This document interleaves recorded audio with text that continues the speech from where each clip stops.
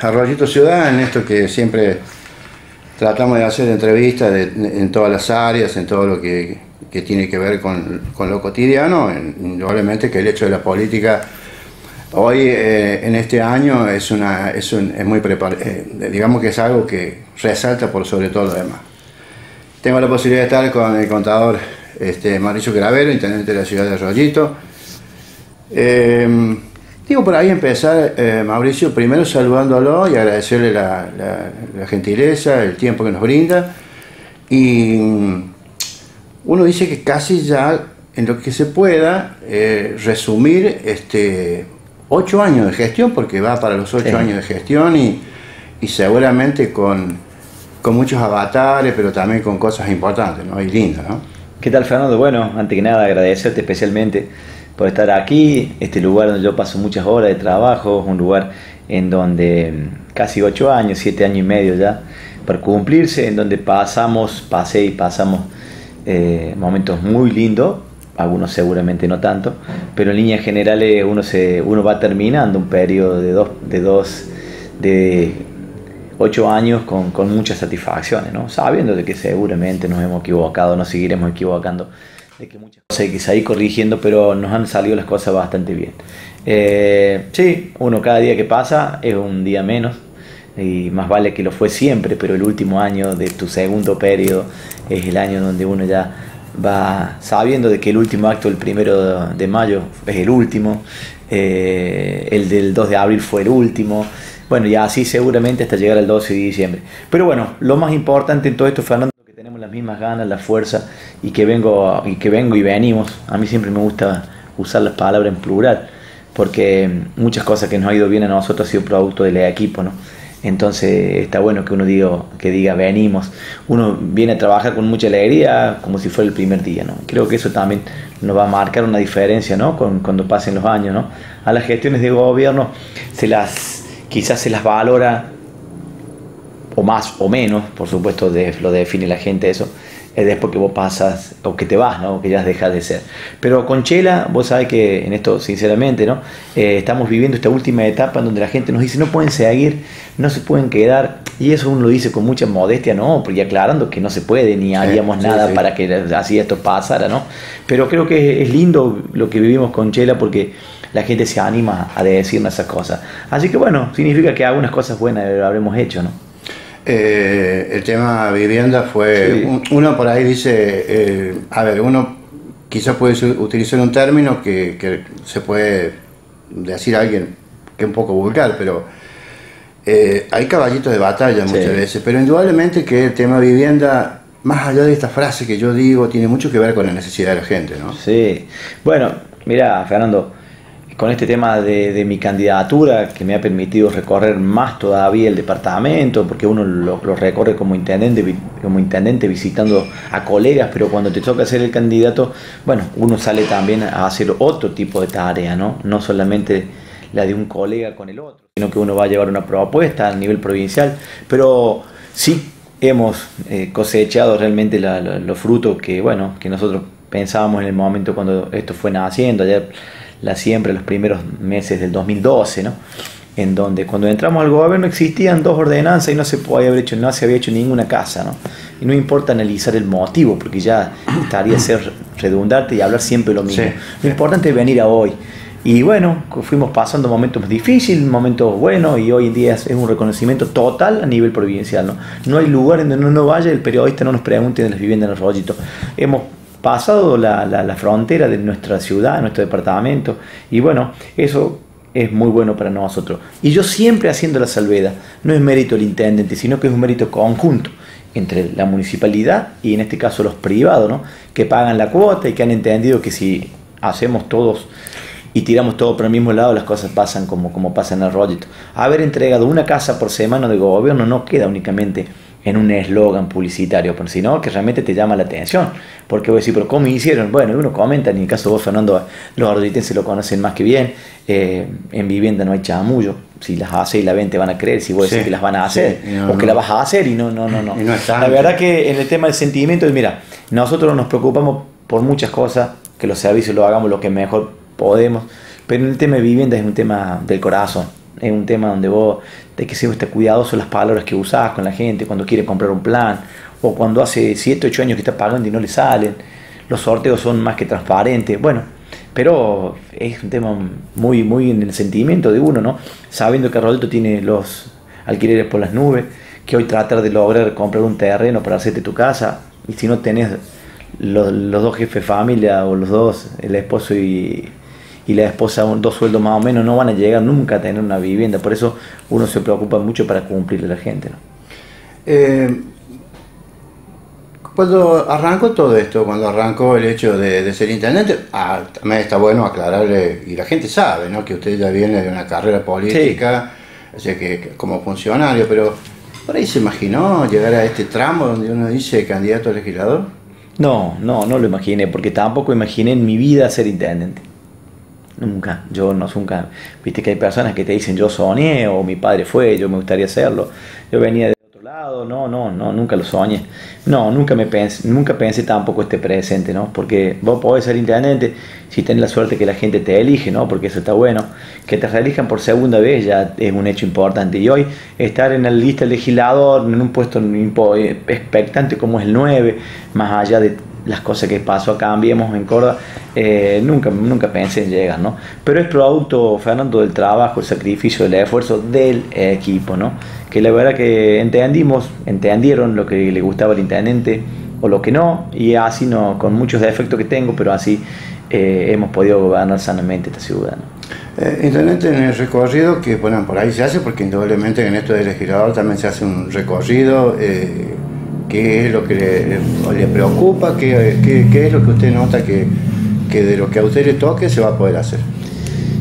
Bueno, la verdad que nosotros vivimos en un departamento extensísimo, que a su vez también va de la mano con una cantidad de, electores importante, por eso el departamento de San Justo no solamente del punto de vista de cantidad de personas que votan, pero también de la parte de la importancia que tiene la, la productividad de este departamento, ¿no? Eh, es bárbaro, sur, el norte, el este, el oeste, la verdad que hay comunidades totalmente diferentes, ¿no? Y hay que hacer 100 kilómetros, 150 por un lado y por el otro y te encuentras con cosas distintas. Lo que sí podemos notar en general, Fernando, es el tema de las viviendas, ¿no? Que la gente te, dice, bueno, nosotros qué le decimos, podemos llevar este modelo de rollito a el gobierno provincial, si va de la mano con nuestro candidato gobernador, si no se puede dentro de la legislatura a ver, de buscar una posibilidad que los gobernadores entiendan que los que mejores manejan y administran las plata son los intendentes. Todos los intendentes, no crean que uno habla del partido de uno. Los intendentes son los que saben la necesidad que tiene cada pueblo. Y sí, en algún, algún intendente trabajan un poco mejor que otros, pero como pasa en la actividad tuya, en el periodismo, en la medicina, eh, en los maestros, pero podemos replicar varias cosas, ¿no? Claro que sí, le venimos diciendo a la gente de que nosotros llevaríamos una idea también de ver ahí una posibilidad de armar una ley, ¿no? Donde eh, recursos coparticipables por la cantidad de habitantes que tiene cada pueblo, que a su vez lo más transparente que hay, eh, puedan llegar recursos para vivienda, ¿no? Para vivienda. Y donde el intendente se obligue que esa plata tiene que usarla en vivienda. Creo que algo que parecido a lo que pasó en nuestra ciudad. Bueno, y así llevar eh, de a medio que uno puede solucionar este tipo de cosas. El tema de la vivienda, lamentablemente, yo siempre digo lo mismo, ¿no? Deberían encargarse gobiernos nacionales y provinciales. Y lejos estoy de criticar a un partido, sino que históricamente o hace muchos años en que no hay la posibilidad de que los gobiernos superiores al municipio eh, lo tienen que emprender ellos. Es muy difícil por el municipio, ¿no? Hacer vivienda, la verdad, de la logística, comprar los terrenos, los materiales, llevar la obra, después tenés, después de la obra, después tenés reclamos, claro que sí, sí, eso es lo normal. Entonces tenés que tener una estructura importante para vivienda. Bueno, nosotros es un éxito total ya. El intendente que venga X, ¿no? acá no hace falta nombrar a nadie, ya tiene un éxito en el plan porque va a tener más de 300 y picas viviendas que pagan el doble de cuota. O sea que es un sistema que ya el dinero se junta eh, tendrán que administrarlo correctamente, nada más. Y luego Arrodito será ejemplo de por vida en vivienda.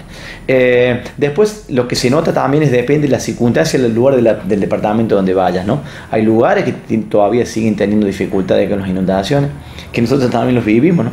Eh, en donde hay que hacer una tarea. Si bien este actual gobierno de Córdoba ha invertido bastante, pero bueno, se necesitan más, hay lugares que realmente necesitan de, no sufrir el tema este de, las inundaciones. Y hace poquito, cuando ingresaba nuevamente agua a la ciudad de Rollito, que nosotros gracias a Dios tenemos el canal derivador, pero en, simultáneo se inundaban las Piur, eh, San Bartolomé, Sí, sí, sí. eh, miércoles, Arañado. el arañado. Entonces, ah, mira, con lo que yo no lo entiendo. Yo, uno, yo mira, los llamé por teléfono a los intendentes porque, la verdad que me, me- me puse en, bien, la- en la sí. situación que vivimos nosotros, ¿no? Sí, vivirlo, Entonces, vivirlo no es lo mismo, ¿no? No es lo mismo, que, mira. que verlo. Exactamente. que le Yo- pasa a otro. No me lo preguntarás ahora, pero yo te lo digo, ¿no? A fin de año, ¿qué te voy a decir? ¿Cuál fue la decisión más importante que me tocó tom- tomar en los ocho años? Salvo que haya alguien de acá hasta fin de año que no parecería que, había, que tenga que haber algo complejo, difícil. La decisión más importante que me tocó to- tomar como intendente, porque era el único que podía tener algún problema, era el intendente, cuando decidimos cortar la ruta Sí, sí. allá por el mes de febrero, eh, Sí. marzo, abril del sí. 2016. ¿no? En el 2015 nos inundábamos, no sabíamos, no entendíamos, la verdad que el agua nos pasó por encima. En el 2016 ya con un, todo un paredón que hicimos, que logramos que no se inundara ninguna casa, pero si no cortábamos la ruta, nos inundábamos, ¿no? O se inundaba mucha gente del sector sur, que a su vez es un sector que la gente más necesita, ¿no? Eh, bueno, tomamos esa decisión. Y es lo que decís vos, a los intendentes nos van a poner los rótulos.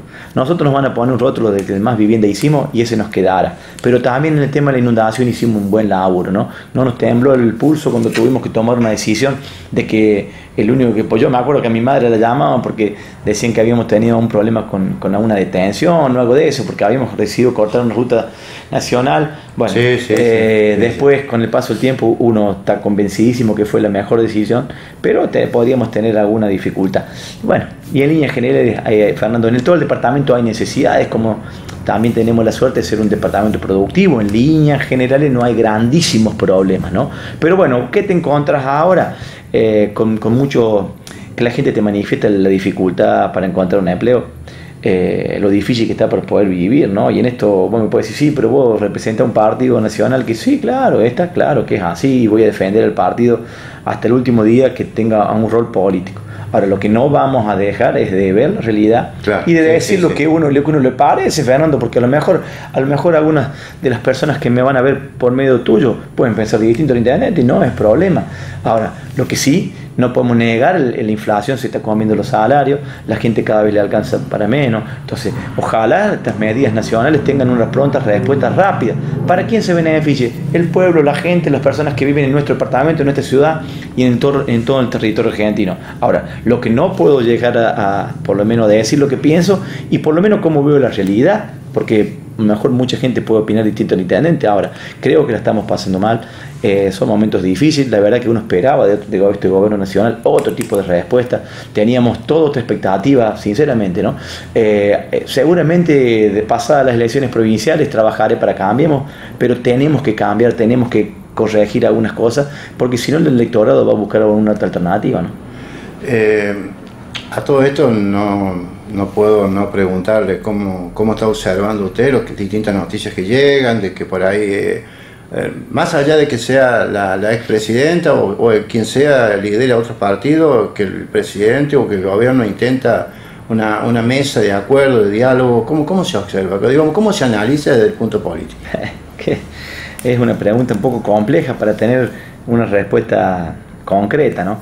Eh, creo que también eh, puede llegar acá en un momento medio tarde, eh, pero bueno, me parece que es lo correcto, que es lo que hay que hacer, ¿no? Pero deben, deben sumar también a la expresidenta, sí, sí, tienen que sumarla en el mismo acuerdo político. Creo que los argentinos debemos coincidir por lo menos en tres o cuatro o cinco puntos que sean eh, una condición de Estado. Si ganas vos, lo tenés que seguir. Gano yo, lo sigo. Gana ella, lo tiene que seguir. No nos ponemos de acuerdo. ¿Cuántos Sí. años hace que esta Argentina no encuentra un rumbo? Y en lo económico pareciera que el que no está en el poder le gusta que le vaya mal al otro. No es así. Creo que hay que encontrarle la vuelta. ¿no? Por eso cuando uno habla de que o cuatro o cinco condiciones que sean de Estado, que si gana quien gane, las tiene que continuar. Bueno, todavía no hemos aprendido. ¿no? Y acá seguramente nos tenemos que incluir todos, porque es muy fácil siempre echarle la culpa al otro o los que estuvieron antes. Tenés que gobernar con lo que te toca, la gente cuando te elige sabe y cuando vos estás por llegar a un lugar que querés que la gente te vote es porque conoces, lo, lo- lo sabes, te preparas, te tenés equipo, tenés propuesta. Eh, bueno, ojalá sí. Eh, digo, el pensar distinto es un problema cuando debería quizás ser un punto de debate, ¿no? Sí, no, para mí no es un problema. No, Ahora siempre a mí me van a tener en la posición que uno Siempre va derecho a de responder. Claro, sí, siempre voy a responder en caso que no piense. Claro que sí, no, no, no, pensar distinto no es, no es un problema. No, no, Nosotros no. en todo este tiempo nos hemos manejado sin ningún inconveniente, Fernando. Nosotros hablamos de, de uno, no, no, no, no, no, no diciendo de lo uno que lo otro hicieron al revés. No, no, no, nosotros hablamos de no, nuestro equipo. Nosotros nunca nos, nos preocupó el pensar, pensar distinto. Ahora, claro que sí, nunca creen que nos vamos a quedar callados. Vamos a decir cómo vemos las cosas nosotros desde el punto de vista nuestro. Pero no significa que tenga que ser una pelea o una guerra. Esto es ver la posibilidad de una manera y el de otro la verán de otra. Eh, ¿Cómo se vive en estas horas? Digo, más allá de una persona que sabe de elecciones, que conoce el tema, pero ¿cómo se vive en estas horas? Digo, por ahí cuando tenemos ya muy cerquita, estamos a días y horas de Sí. lo que es una elección este, provincial, ¿no? Se vive, se vive. No es lo mismo que una elección de intendente, ¿no? Es No. totalmente diferente. La intendente sí, cuando, cuando acá sí se personaliza, pero cuando vos sos el candidato, eh, bueno, sabes que todo lo bueno o malo, si te equivocas o no, repercute en vos, ¿no? Ya cuando me- te toca una elección en donde el elector principal no soy yo, sino que en este caso los candidatos, más que nada gobernador, porque yo siempre digo, ¿te acordás de la última elección que fue el vice? Y muchos no nos acordamos de fulano Mengan. Sí, sí. Entonces la gente dice Charetti, Mestre, Negri, y bueno, y va a estar ahí. Entonces nosotros, en este caso, nos toca estar en la lista de Ramón Mestre Gobernador. Bueno, yo siempre doy al máximo, ¿no? Eh, no soy un tipo que me ando fijando si tengo que destinar horas de mi familia o de mi descanso para la política, porque me gusta. Desde que me levanto hasta que me voy a dormir, esta es una frase que alguien puede malinterpretarla. Yo la digo y la acepto como la digo. Yo hago política. Sanamente hablando, ¿no? Saludo en forma respetada, respetuosa a la gente. Eso Bien, es más sí. ser, ser buena gente que de político. Sí, pero también tiene que ver con la política, ¿no? Tratamos de hacer las cosas bien. Desde, mira, yo hoy vine a, a trabajar 8 menos cuarto y ya son más de las 4 de la tarde y acá estamos y llegamos a casa y a las 6 tenemos el sindicato y a las 7 y media tengo una entrevista con una familia que quiere que les vaya a visitar. A la noche tenemos reunión en nuestro, en nuestro partido. Bueno, nos dedicamos las 24 horas, ¿no? La verdad que cuando uno habla este, este- esta profesión, ¿no? Yo hoy, día, yo hoy en día siempre digo que soy más político que contador. Y la frase de político muchos se andan escondiéndola. No, yo siento orgullo de ser intendente y que lo llegue por medio de la política. Y mi trabajo es, es ser político de- desde la primera hora, en donde me gusta ver si puedo resolver problemas. Creo que hemos hecho muchas cosas que le hemos solucionado los problemas a la gente. eh, y no me ando escondiendo. Lamentablemente hay muchos malos ejemplos, entonces hace que uno no quiera hacer o no, no se nombre de esta Claro, manera, claro. ¿me entendés, Fernando? Sí, sí, porque- Pero yo hoy en día, si me preguntas más de mi profesión, ya tengo más del, del- de, de intendente que, que, que- que de contador, por supuesto que estudié y es la, la profesión que yo abrazo desde chico, pero bueno, la verdad que uno va transitando estos momentos hasta el domingo de una manera un poquito diferente a que si sos candidato a intendente. Pero bueno, ¿qué nos ha pasado en todo este tiempo que vos vas viendo también un reconocimiento que hay fronteras para afuera, que a veces uno nunca cree que está el reconocimiento, porque Claro, vos vas sí, haciendo sí. cosas Para la y- ciudad para la ciudad y, y y se da veces- cuenta que tiene repercusión afuera. Exactamente, ¿eh? exactamente. De lo que es el, Sí. digamos, el- el- Hoy en día también todas las alrededor de la- herramientas, de las herramientas, las herramientas de difusión que, que te juegan a favor si te va bien y en contra si sos un intendente que no haces bien las cosas también te perjudica, pero bueno, para eso hay que hacer las cosas bien, para que después no salga una información diferente. Pero estamos contentos y, y bueno, eh, hemos dado el máximo, ¿no? Nos quedan eh, esta semana viajaré un día más y después, bueno, yo, por ejemplo, yo me debo también a mi función de intendente. ¿no? ¿Qué, qué función cumple o, o qué rol cumple? Porque esta es la, digamos, que es la que siempre uno trae. Es como le preguntamos al deportista, como le podemos preguntar que está en la ciencia, el economista, el político. ¿Qué función cumple la familia? Uf, eh, bueno, yo todas las cosas que he hecho bien le he tenido la, la mu- mucha incidencia en mi familia, ¿no? Porque yo tengo una esposa maravillosa, una familia de 10. La verdad que cada vez que yo llego a mi casa, mi familia, mis hijos están siempre contentos. No tenemos ningún inconveniente familiar. Es un trabajo complejo, ¿no? Complejo con las, la diferencia que yo dije hace un ratito, ¿no? Eh, igual que tú, yo tampoco, no hay un trabajo fácil, tenés dificultades, pero esto se suman un montón de cosas. Sí, ¿no? sí, que acá sí. tenés que, bueno, tu familia te tiene que aceptar. Yo llego a mi casa a las 4, 4 y media y a las 5 tengo gente. El domingo estábamos almorzando y, y- y nos tocan el timbre a la 1 de la tarde. Bueno, este es un trabajo que si no te acompaña la familia es muy difícil que te vaya bien, ¿no? Porque la familia es un so- sostén importante. Por ejemplo, mi esposa es la primera en donde me hace la autocrítica o, me dice por qué no corrigen esto. Bueno, y está bueno, porque no viene del ámbito de las políticas públicas, no, no ven de afuera. Yo siempre digo que les pregunto a mi mujer y a los vecinos cómo está el arroyito y ya enseguida te tiran unos datos, ¿no? Porque uno consume, por ahí nos peleamos entre nosotros en la política y ese era un 5% del pueblo. El resto de la gente hoy en día está preocupado por otra cosa, ¿no? Hoy en día si nos salimos de acá, Fernando, paramos 10 personas y le preguntamos quién quiera que sea el próximo intendente de Rodito, seguramente no le interese hoy. Le interesará el día que esté la fecha. que baje el dólar. El día, claro, que baje el dólar, que baje la inflación, estoy pagando mucho el killer, che, eh, ¿por qué no solucionan un problema en los servicios? Esas cosas que sería algo normal. Por eso yo digo que la familia eh, tiene un rol fundamental y la verdad que eh, en el caso mío mi mujer es extraordinaria, mis hijos, mi madre, mi suegro, la verdad que tenemos una, familia que es un sostén importante para este trabajo. Em, bueno, uno habla del tema de la familia, eh, hablamos de lo que tiene que ver, eh, que es el hecho puntual, que tiene que ver con lo que es candidato a legislador. Eh, y sabemos que uno de los grandes factores que se mueve mucho, que anda mucho, que circula mucho para muchos mal, o se utiliza mal, y tiene que ver con las redes sociales. ¿Cómo, cómo, cómo, cómo, cómo va usted, digamos, cómo pelea usted contra las redes sociales? Bueno, ese... qué digamos. Sí, sí. Bueno, yo, nosotros hemos tenido una característica en todos estos años que la verdad que nosotros nunca, nunca nos metimos en ese rubro, ¿no? La verdad que no, no hemos participado, yo no consumo mucho de eso, pero por supuesto que la gente entra acá y te dice, che, fulano es tal o mengano. Hoy en día también todo este tema que te posibilita la tecnología, eh, el anonimato, que te puedes crear una cuenta trucha y ahí puedes escribir lo que quieras. Y es muy posible que algunos escribiendo lo que quieras te le crean el que escribe. Bueno, nosotros no, no entramos en eso. Yo la verdad que siempre digo que nosotros nos movemos más en la luz, nosotros somos más previsibles. No, nosotros no, no, no, piense un intendente que, si lo que no se puede hacer, vamos no a hacerlo. Por supuesto que nos equivocamos, ¿no? Y seguramente hemos hecho algunas cosas que no son lo correcto y que tenemos que identificarlas para corregirlas. Pero no hemos entrado nunca en, la, en, la, en el barro de, de, las redes, ¿no? Las redes sociales son maravillosas para un montón de cosas, pero para algunas otras son más complejas, ¿viste? Y bueno, cuando vos tenés siete años y medio en el gobierno, seguramente te dicen, che, pero la obra se la hace fulano, y pero le dan todo mengano. Bueno, eso pasa. Y a mí me tocó vivir otra gestión de gobierno, ¿no? Y que a veces hay cosas que tienen razón, hablo de la mía, ¿no? De mi gestión de gobierno. Y a lo mejor hay muchas que no. Pero usted demuestra con el paso del tiempo, ¿no? Yo siempre digo de que el mejor testigo de todo es el tiempo. Más vale que a lo mejor el reconocimiento viene después que los ojos intendentes, pero no importa, yo, nosotros tratamos de hacer las cosas bien, lo mejor posible, y en líneas generales no hemos tenido grandes problemas. Eh, ¿Qué es lo que más le está preocupando en este momento hoy en Arroyito?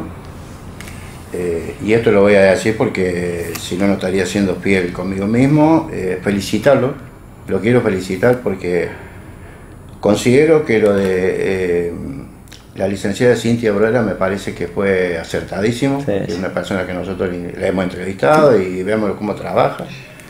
¿Qué son las cosas que más le preocupa eh, hoy en la ciudad? Que, usted dice, está bien, estamos con todo esto del año que se termina, pero hay cosas que tengo que inmediatamente eh, darle un punto final y que se empiece a ordenar.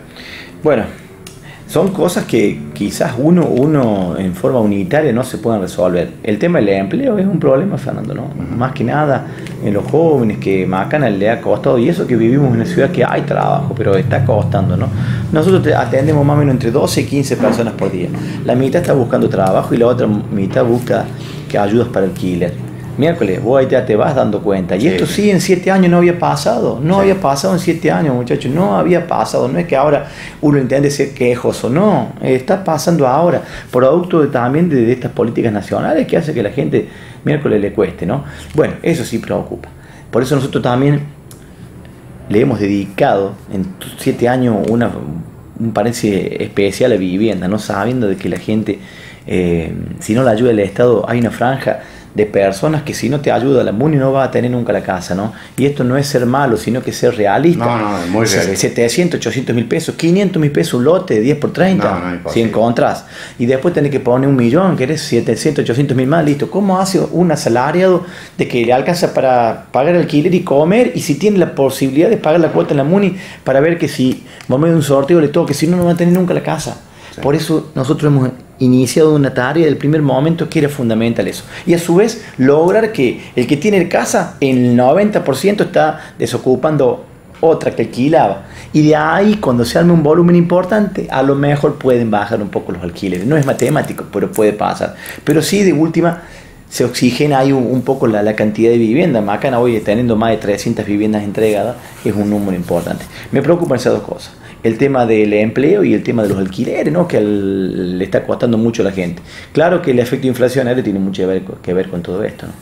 La última pregunta que tengo para hacer, eh, si bien es cierto que todavía falta, pero eh, ¿por qué la decisión de Daniel Lafarina? Bueno, nosotros veníamos trabajando con un proyecto eh, que me toca, me toca liderar a mí y mm, se fueron dando las condiciones. Nosotros empezamos a conversar con el equipo, eh, el equipo especialmente de los funcionarios.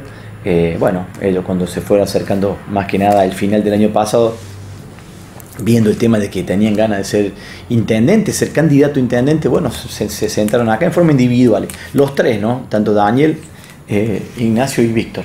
Bueno, definimos que nosotros eh, también estábamos de acuerdo que sea algunos de ellos, así que decidimos un, y firmamos un convenio de que el candidato saliera por consenso o por medio de una encuesta.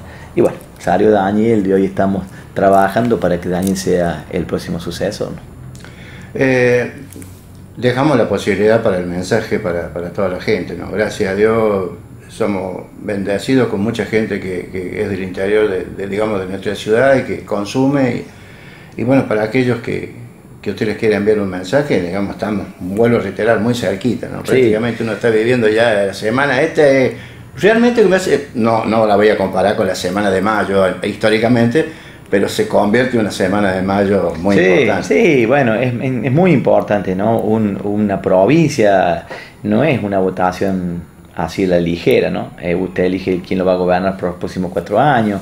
Y, está, digamos que está es una provincia que tiene los ojos de muchas provincias puestos bueno, encima. Por supuesto, por supuesto. Eh, aparte Córdoba es distinta, ¿no? Córdoba, por eso fíjate como nosotros dentro de Cambiemos no nos pudieron imponer del dedo desde Buenos Aires. Somos diferentes los cordobeses, ¿no? No sé si seremos mejores. Ahora sí somos diferentes a cualquier otra provincia. Nosotros no nos gusta, nos gusta los, temas nuestros resolverlos nosotros.